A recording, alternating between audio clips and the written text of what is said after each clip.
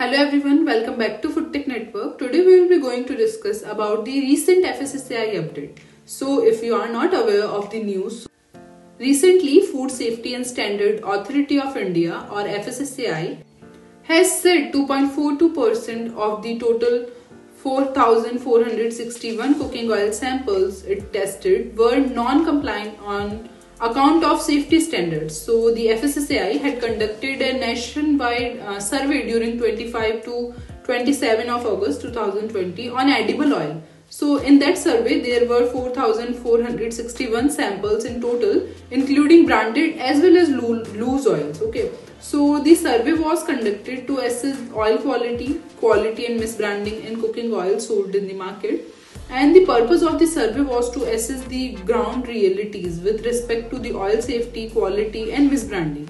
So the food safety regulators said in the findings of the survey shared with the media on Wednesday.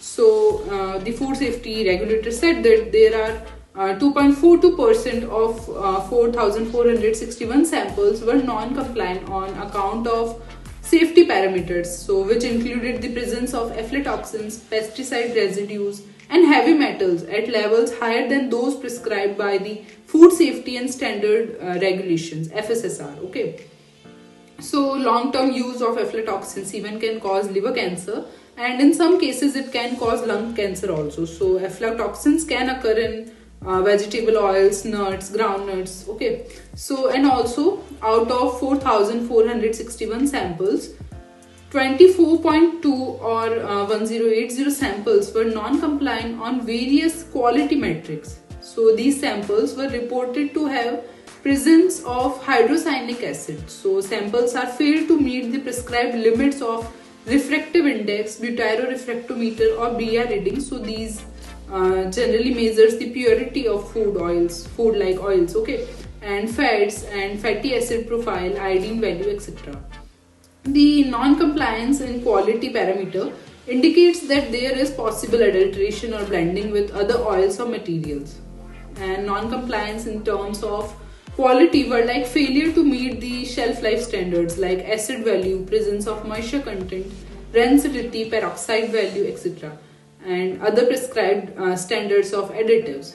And then uh, out of 4,461 samples, 570, uh, 572 samples or we can say that 12.8% samples were in label mis uh, misbranding category. So samples were found to be non-compliant on fortification claims like presence of vitamin A or presence of vitamin D and some oil samples were non-compliant on FSSAI labeling requirements and they were not meeting the requirements of FSSAI guidelines or labels.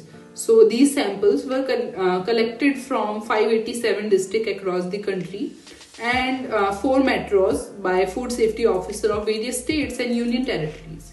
So these samples were sent to various FSSAI notified labs uh, where they were tested for safety, quality, and misbranding parameters in compliance with the uh, existing FSSR. Okay, and further, FSSAI said that a meeting with uh, stakeholders was organized on 9th of September 2021 to discuss the key findings of the survey and all states and union territories are being asked to intensify the enforcement drives to prevent the adulteration in oils and Ministry of Agriculture and Farmers Welfare and Ministry of Food Processing Industries are being requested to integ uh, integrate their efforts in eliminating the problems of contaminants through implementation of good agricultural uh, practices and safe handling uh, or processing techniques because there is a risk of aflatoxins and other hazards.